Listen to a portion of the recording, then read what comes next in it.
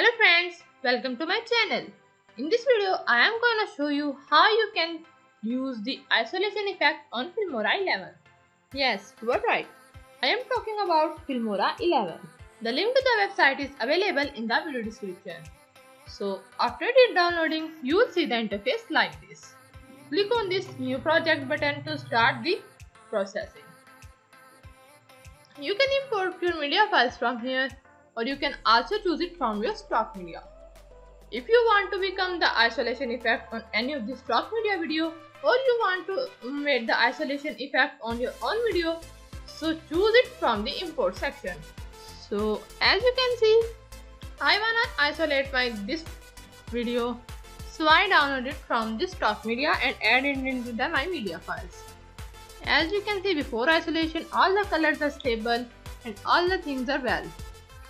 So I click on this effect section and then click on this NewBlue FX effects. Then I will add the NewBlue filters in it. Here is an option like selective color.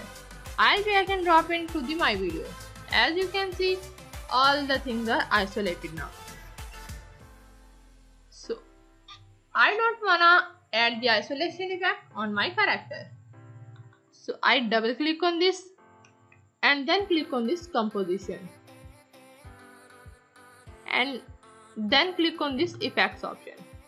Then I choose the preset in flesh tones. Then I choose the first color and choose the tint according to it. You can also choose the second color options here. As you can see. So if I play the whole video, you can see the background is isolated but my character is not. You can adjust it according to the your needs. As if you have the question that the isolation is also available on the hand then double click on it. Go to the effects first color and then select the range from here as you can see it's vanished now. Let's play the video again.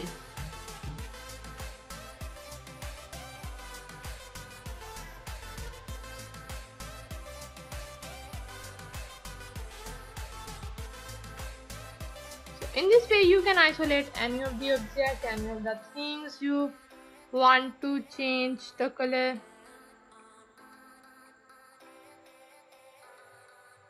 so hope you guys enjoyed the video. If you really enjoyed the video hit the like button comment down below if you have any question thank you so much for watching and i will see you in the next one